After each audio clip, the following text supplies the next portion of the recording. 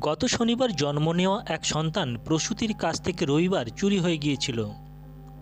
দিনের বেলা চুরি হওয়া ওই শিশু সন্তান তার মধ্যেই তদন্ত করে খুঁজে বের করে দিয়েছিলেন কোতোয়ালি থানার পুলিশ। ছয় ঘণ্টার এই অন্তর্ধান রহস্য ব্যাপক তোলপাড় হয়েছিল মেদিনীপুর মেডিকেল কলেজ হাসপাতালে, যার জবনিকা হলো মঙ্গলবার দুপুরে।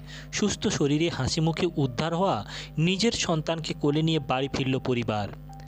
স্বস্তি পেল হাসপাতাল কর্মী ও আধিকারিকরা। গত শনিবার মেদিনীপুর মেডিকেল কলেজ হাসপাতালে প্রসব যন্ত্রণা নিয়ে ভর্তি হয়েছিল গড়বেতার বাসিন্দা গৃহবধূ সুমিত্রা খামরুই। ওই রাতেই একটি পুত্র সন্তানের জন্ম হয়েছিল তার। রবিবার দুপুরে সন্তানকে নিয়ে ঘুমিয়ে থাকার সময় চুপিসারে শিশুটিকে চুরি করে নিয়ে পালিয়েছিলেন এক মহিলা। ঘটনার পরে তোলপাড় পরিস্থিতি শুরু হয়েছিল হাসপাতাল পরিকাঠামো ও নিরাপত্তা ব্যবস্থার প্রশ্ন নিয়ে। ঘটনার তদন্তের নামে সিসিটিভি ফুটেজ দেখে কোতোয়ালি থানার পুলিশ ছ ঘণ্টার মধ্যেই শিশুটিকে উদ্ধার করেছিল মেদিনীপুর শহরের একটি এলাকা থেকে। গ্রেপ্তার করা হয়েছিল সুলতানা বিবি নামে এক পৌরাকে। শিশুটিকে তার মায়ের কোলে ফিরিয়ে দিয়েছিল পুলিশ সন্ধ্যাবেলায়। চিকিৎসকরা সমস্ত পরীক্ষা করে দেখেছিলেন শিশুটির সমস্তভাবেই সুস্থ ও অক্ষত রয়েছে। এরপর দুদিন পর্যবেক্ষণে রেখে মঙ্গলবার দুপুরে বাড়ি যাওয়ার নির্দেশ দেন চিকিৎসকরা। তবে তার আগে কোতোয়ালি থানার পুলিশ এসে রিলিজ অর্ডার দিতে হাসি মুখে বাড়ি ফিরতে পারলেন সকলে। ঘটনায় স্বস্তি হাসপাতালের কর্মী ও আধিকারিকদের। তবে এই অন্তর্ধান রহস্য হাসপাতালে একাধিক বিষয়কে তৎপর হতে সাহায্য করেছে।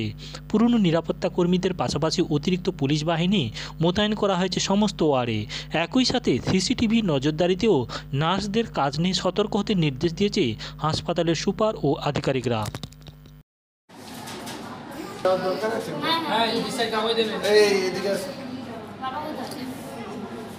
হ্যাঁ কেমন লাগছে আপনার? দাঁড়ান দাঁড়ান বেরিয়ে। হ্যাঁ বলুন। দাদা একটু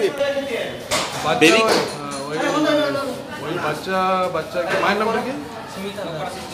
সুমিতা দাস না খামরই সুমিত্রা দাস খামরই সুমিত্রা দাস খামরই বাচ্চা যে বাচ্চাটি এখান থেকে কিডন্যাপ করেছিল ওকে তো পুলিশ যথাসময়ে রেস্কিউ করে নিয়ে আসছেন আমরা এমনি বাচ্চা সেদিনে সুস্থ ছিল অবজারভেশনের জন্য রাখা ছিল।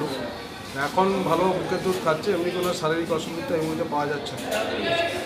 সেই জন্য ছুটি দিয়ে দেওয়া হচ্ছে আপাতত ওদিকে ইনস্ট্রাকশন দেওয়া থাকছে, পরবর্তীকালে কী করতে হবে, কবে চেক আপ করতে হবে, কী করতে হবে। বাচ্চা আপাতত সুস্থ আছে